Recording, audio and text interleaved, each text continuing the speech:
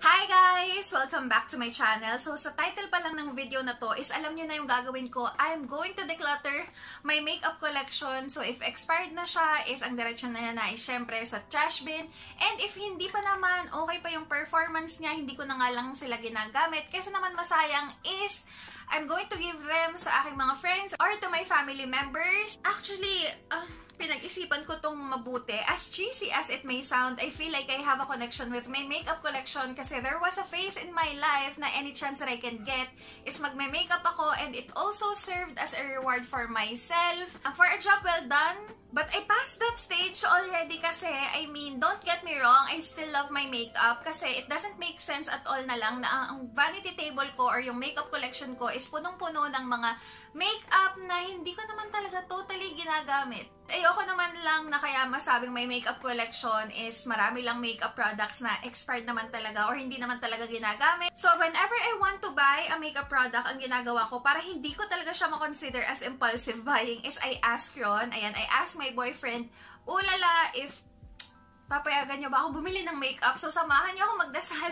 na sana palagi niya akong payagang bumili ng makeup. This video will be divided into two parts para naman hindi kayo mabore. And para kung nga rin na din na regular talaga ako mag-upload sa aking YouTube channel, ayan, win-win situation, di ba? So, if you guys are interested sa mga products na nilet go ko na and sa mga products na I'm going to keep in my collection, Keep watching! So, on my first drawer sa aking vanity table is makikita nyo, nandito yung aking foundation, concealers, contour and highlighters, cushion sa likod, and also I have here my powders. On this second drawer naman guys, nandito yung aking ibang mga makeup products, but we'll get to this later on. Starting off with the Sansan Age Defense Serum Foundation. Maganda siya guys, but this is way too light for me. And expired na din naman siya, so I have to let this baby go.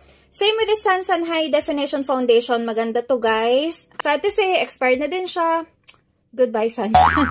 Cinco, love, love, love this product. This is my go-to um, base or minsan ginakagawa ko na din naman siyang foundation. So, I'm going to keep this in my collection. Simply Pretty by Avon Shine No More Gel Foundation. Maganda siya, guys. So, I'm go going to keep this in my collection. Beauty Glaze, medyo dark siya sa akin. So, donate na lang siya. Careline, I don't use this anymore but this is still within the expiry date. So, I'm going to donate this one as well.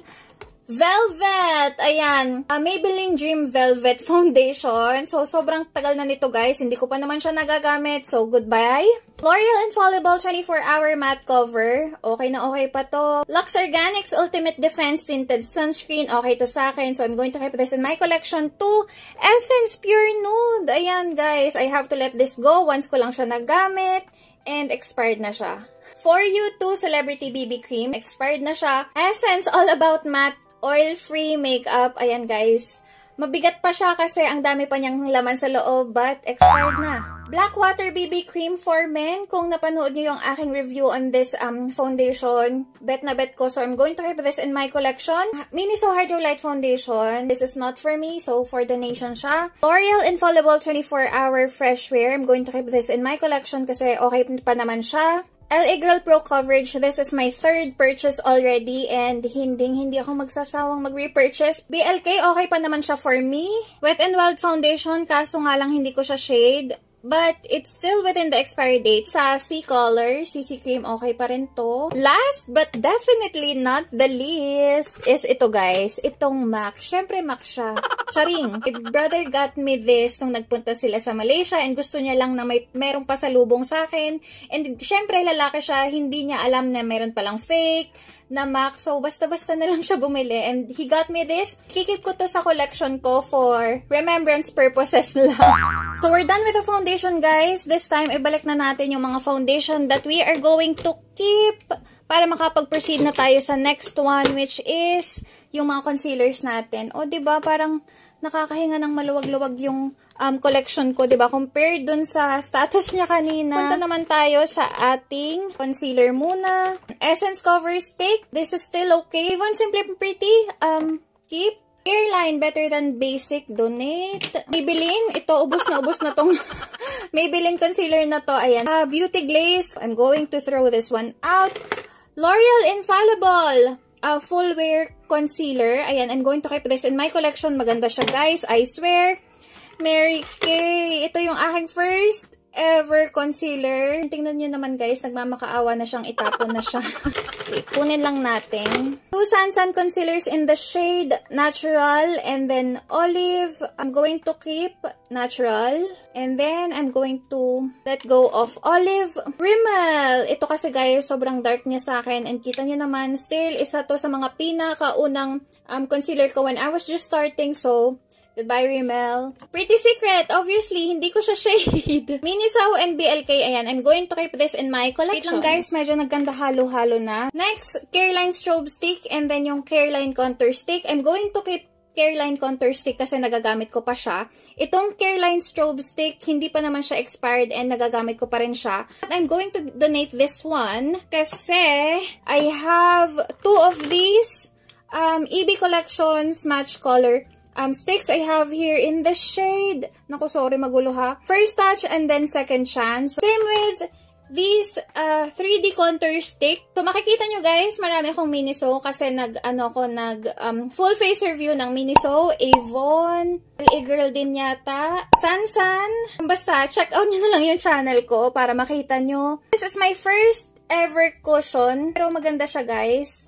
And yun na nga lang, I have to let this go kasi medyo matagal na siya sa akin. So, Nisa, ginawan ko siya guys ng review kasi uh, there was a time na talagang this is all over um, TikTok. I'm just going to give this one away. And I like what I'm seeing so far. Uh, let's proceed with my my powders. I have here Sansan H Defense na I'm going to give this one as away. Chihuahua Cosmetics, maganda siya guys. Full coverage kahit powder. Focalure, Maganda to. For under eyes, ayan. Bet na bet ko to.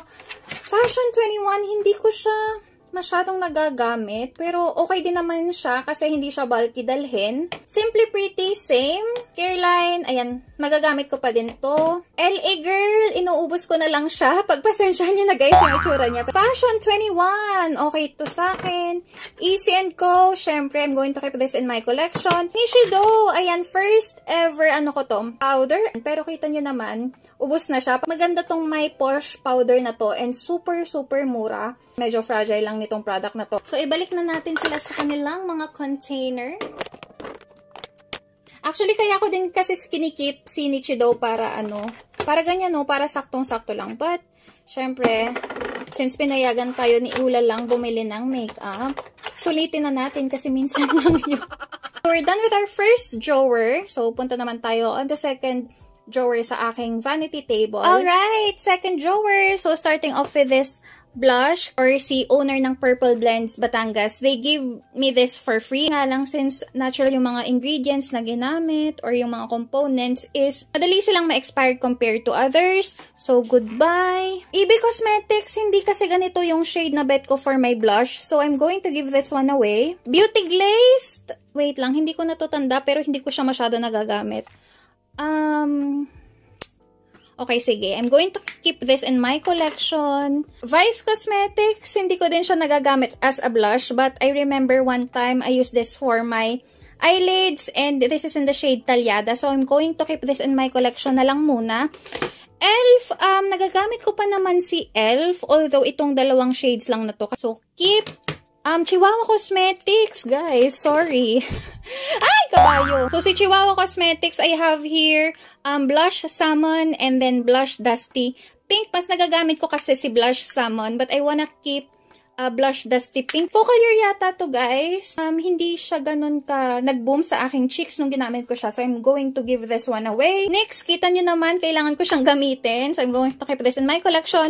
I can't let this go. Sansan. Gusto ko yung ganitong shade pero hindi siya shimmery.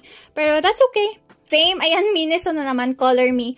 Uh, blush. I'm going to keep this in my collection kasi nga Bet ko yung shade niya. Vice Cosmetics Aura Duo um, in Prankster. Mas nagagamit ko yung highlighter compared sa blush. So, I'm just going to keep this in my collection. EB Collection Blush to Go. Almost the same sila guys kung makikita nyo. Basta ikikip ko na lang muna sila sa collection ko. And then, City Color Rosy Cheeks. Kita nyo naman, hindi ko siya masyadong nagagamit. But I wanna keep this in my collection. Papaglaruan ko muna siya before giving this one away. Let's see sa aking next na declutter. Elf. Akin muna to and then saka ko ibigay sa inyo if nagsawa na May ganon. So, ang aking everyday blush. Pero sobrang ganda nito guys. Serum blush na tipong healthy glow lang yung binibigay sa chicks nyo. Push kayo dito. Grabe guys, I feel bad. I think I didn't do better when it comes to the blush kasi parang dalawa lang yung madodonate ko. So, let's proceed with a highlighter. Um, I have here Vice Cosmetics in the shade um, Shining. Ito yung ginagamit ko. So, keep Color Me Miniso. Maganda din to. So, keep Elf! Guys, sobrang ganda nito. Ito guys, eyeshadow from H&M. Kaya nga lang mas nagagamit ko siya as a blush before. And ngayon, sobrang tagal na nila sa akin. So, I'm going to... I'm going to let this go. Ayan. So, I have here Pond's Glow Up Cream. I wanna use Golden Sunshine. And I'm just going to give this one away, si Pink Crush. City Color, um, Glowing Complexion Illuminating Cream. Sige, I'm just going to give this one away. NYX highlighters. Ito pala yung gamit na gamit ko among the three compared to this one. And ito talaga is hindi ko talaga nagagamit. I'm just going to keep this muna for now. And let's see. And kunin natin yung mga nasa likod. Um, ito, um, Elana. Kaso, pwede siyang pang set ng eyeshadow or ng eye primer. Ayan. Pero hindi ko siya nagagamit. So, I'm going to give this one away. Beauty Glaze. Yung packaging niya, ba diba, parang Kylie. Mmm! Ganda, okay pa to. Pero, hindi ko siya nagagamit, guys. So, I'm going to give this one away. Elf, let's see. Ay, meron pala ako nito. Hindi ko alam. I mean, alam ko, pero hindi ko siya masyadong nagagamit. So, um, keep ko muna siya, guys. Sorry. Uh, Blythe Stardust Palette, and then itong Cathy Doll. Itong Cathy Doll, um, gamit na gamit ko na siya, pero this time pinapagpahinga ko muna. Pero okay pa siya, hindi pa siya expired. Meron naman ako nitong Blythe. I'm just going to give this away. And then, itong um, EB Advanced Face Trio. Ayan, okay pa rin siya for me. So, keep siya sa collection ko. And then, guys, my first ever blush palette. OMG! Matagal na to sa akin. Fairness, guys. Matagal yung kanyang PAO or period after opening which is 36 months. Pero kasi, ang problema is I bought this 2015. Sobra-sobra na sa PAO so, niya. guys, so, kung mapapansin nyo, marami akong eyeshadow. Actually, hindi pa to yung full eyeshadow collection ko. Medyo marami-rami din akong foundation kanina. And then, yung mga lipsticks naman. Kasi when it comes to reviews, sila yung mga focus-focus. Sila yung mga focus ko sa aking channel compared to other makeup products. Ito, um, Style Essentials from Absolute. Ginagamit ko siya Um, kita nyo naman, um, earth tone. So, mas nagagamit ko siya sa aking crease. So, okay pa rin to for me. Um, Avon. Ay, sige. Keep ko muna siya guys sa aking collection. Clinique, ayan, Clinique nga pala to. Hindi ko siya nagagamit, but gusto ko siyang gamitin one time. So, wait lang. And then, BYS, ito, sobrang powdery and hindi ko naman siya gaano nagagamit. Hindi pa siya expired, so I'm just going to give this one away. Blythe, parang ano na to, um, gamit na gamit ko din kasi to before eh. Ayan. Dried out na siya. So, goodbye! Tapos, dito sa Blythe Face Palette, I'm going to keep this in my collection. LA Girl Smoky Eyeshadow Collection. It brings back a lot of memories, pero hindi ko naman siya nagagamit. So, I'm just going to give this to someone na, na alam ko magagamit to. Nichido! Um, sobrang basic kasi. Tapos, alam mo yung packaging luma na. So, I'm just going to give this one away. I wanna keep Beauty Glaze kasi ng shade selection niya. Amuse. Saan ko ba to binili? I'm just going to give this one away. Careline Play to Slay. Okay pa rin siya sa akin. Um, ito, Careline Pocket Palette. Meron pa ba nito, guys? Cargo. Ayan, maganda siya, guys. So, ikikip ko siya. Last container, Essence Quattro. Sayang hindi ko siya nagamit. Card na kasi to guys. Sobrang tagal na nito sa akin. College pa yata ako. Vice Carry Boom. Okay pa to, bago pa lang sila. Sephora, ayan, my first ever Sephora na hindi na nasundan. Pero maganda kasi siya, guys. Ang ganda ng kapit niya sa aking eyelid. So, I'm going to keep this in my collection. My Posh and then si Sansan. So, I'm just going to give this one away. Si Sansan, sa pagkakaalam ko, matagal na siya. So, dispose na lang natin siya. And then, Vice Cosmetics BT21. Maganda siya, guys. Um, budget friendly. I'm going to keep this. Same with Element of Surprise Color Pop. Beauty Glazed Mint. Goodbye. Hindi ko gusto yung performance niya sa aking eyelids. What is this? BTLA Nude Eyeshadow Palette. Ayan, magagamit ko siya. Or yung mga bridal looks. Ayan, tamang-tama tong um, eyeshadow palette na to my makeup declutter video part 1. Abangan nyo na lang yung part 2 on the coming days. So maraming salamat sa panonood. See you again on the next one. Bye!